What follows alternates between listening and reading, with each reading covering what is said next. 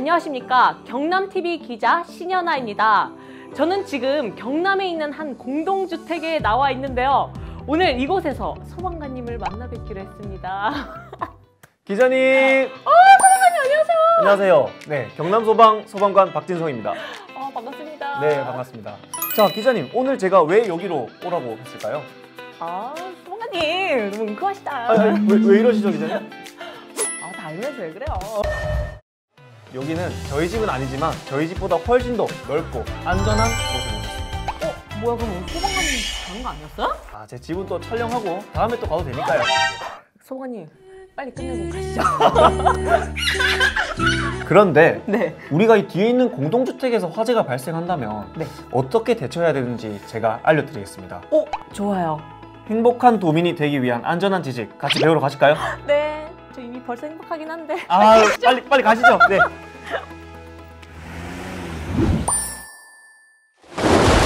아니 소방관님, 공동주택 데리고 온다 해놓고서 이게 뭐야 다 불나고. 기자님, 기자님은 지금 이렇게 공동주택에서 불이 나고 있을 때 뭐부터 하시겠습니까? 당연히 도망가야죠. 아, 맞습니다. 하지만 우리가 꼭 알아야 할 소방안전 지식을 갖춘다면 화재 피해도 최소화하고 빨리 대피도 가능하겠죠? 음, 그럼 빨리 알려주세요. 네, 그래서 제가 화재가 발생하기 전에 우리가 꼭 알아야 할 것과 화재가 발생했을 때 우리가 어떻게 대처하는지를 나눠서 알려드리겠습니다. 와, 굉장히 복잡할 것 같은데 빨리 알려주세요. 네, 혹시 기자님은 기자님 집에 어떤 피난 시설들이 있는지 알고 계신가요? 어, 아니요 전혀 모르겠는데요. 아, 그러면은 우리가 인터넷에 우리 아파트 이름만 검색하면 그 안에 어떤 피난 시설들이 있고 어디로 대피해야 안전한지 그런 것들을 알려주는 누리집이 있다면 믿으시겠습니까? 오, 아니 근데 아파트에 안 살면 어떡해요? 아, 저 이런 이런. 아 이런 거 안 돼. 인터넷에 우리 아파트 화재 안전 체험이라고 검색하면 우리 아파트 내에 어떤 피난 시설, 소방 시설, 그리고 어디로 대피하면 안전한지 알려주는 누리집을 올해 경남 소방에서 구축했습니다. 아니 그런 게 있으면 우리 도민분들께 빨리 알려드려야죠. 그래야 행복지수가 올라가는데. 네, 그래서 제가 알려드리고 기자님을 직접 체험해 보시기 위해서 장소를 준비해놨습니다. 진짜요? 네, 어, 그럼 이동하는 건가요? 네, 체험하러 가시죠. 어, 네.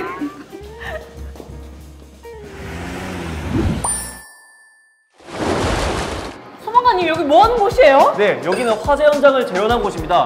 우리가 빨리 대피를 하- 하기 위해서는 자 연기는 위로 올라가기 때문에 네. 자세는 숙이고 숙이고 입과 코를 보호해야겠죠. 네. 옷깃으로 입과 코를 막아봅시다. 맞고 네, 가리고 낮은 자세를 유지하면서 네. 빨리 대피해 보시죠.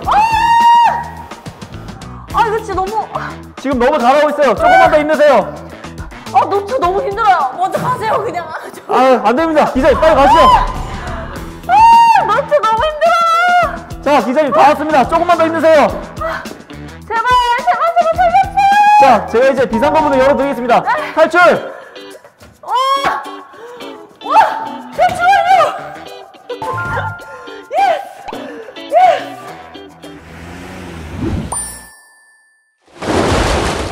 소방관님, 네. 여기서는 또 어떻게 탈출을 해야 돼요? 네, 이것은 경량 칸막이라고 하는 것인데요.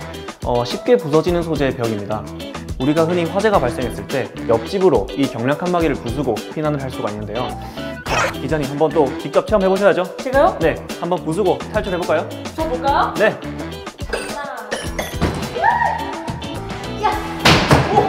아, 잘하셨습니다. 와! 아니 그럼 이거 다음은 또 어떻게 탈출을 해야 되죠? 네, 다음은 우리가 승강 피난기를 체험하러 갈 건데요. 제가 또 다 장소를 마련해 놨습니다. 가시죠. 어,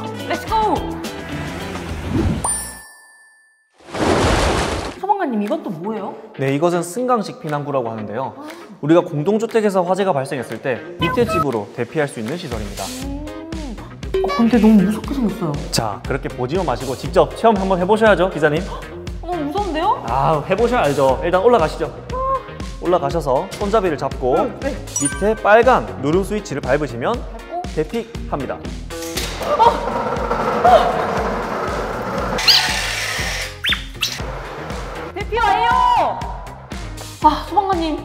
혼자 살아난 기분이에요. 그래도 오늘 또 하나 배우셨네요. 이렇게 안전지식을 쌓아놓으면 위급할 때 대처도 잘 되고 남도 돕고 일석이조 아닌가요? 그건 맞는 것 같습니다. 여러분들도 안전지식을 쌓아서 행복하고 안전한 생활 되시길 기원하겠습니다. 어, 아, 저는 지금 비상 상황이 발생해서 이만 어, 어 소방관님! 소방관님 조심하세요! 아무튼 여러분 안전한 도민, 안전한 도민에 대해서 취재해보는 시간을 가졌고요. 지금까지 경남TV 신현아 기자였습니다. 여러분, 안전, 안전, 안전!